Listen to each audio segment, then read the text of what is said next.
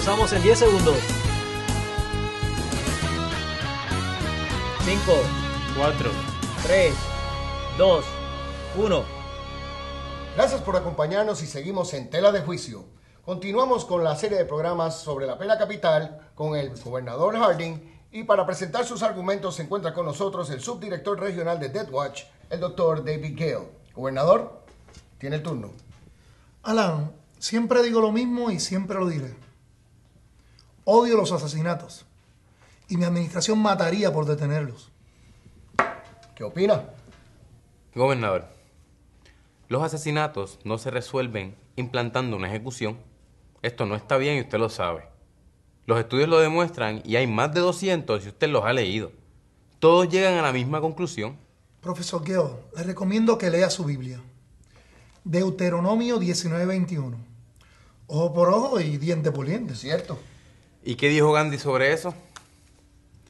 La antigua ley de ojo por ojo nos mantiene ciegos a todos. Pues con todo respeto, eso es un pensamiento liberal y algo confuso. ¿Eso cree usted? Estoy totalmente de acuerdo con eso. Qué interesante, señor gobernador, porque me parece que usted utilizó esas mismas palabras durante un discurso en su primera campaña. ¿Lo recuerda? Sí, sí es correcto. Pienso que si no se libera a los 30 años, no se tiene corazón. Si se sigue siendo a los 40, no se tiene cerebro. Es decir, Lo dio Winston Churchill. Es cierto, Churchill.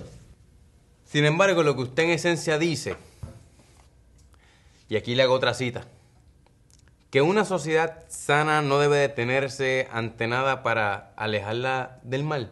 Mm, ah, sí. Estoy de acuerdo con eso. Yo también dije eso. No, señor, fue Hitler.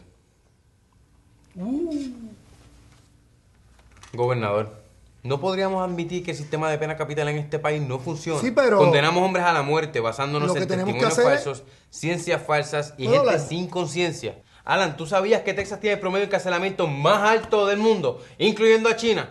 A 43 personas ¿Me le deja fueron asignados abogados que fueron inhabilitados o sancionados posteriormente. Hay dos personas que sus abogados se quedaron no soy abogado. dormidos durante el No interrogatorio y esto para el Tribunal de Texas no es motivo ¿Puedo para un nuevo juicio. Gobernador, esto es un sistema loco, viciado e insensato. Y un sistema como este mataría a hombres inocentes. Ok, muy bien, déjelo hablar. Señor Guedo, juguemos un juego.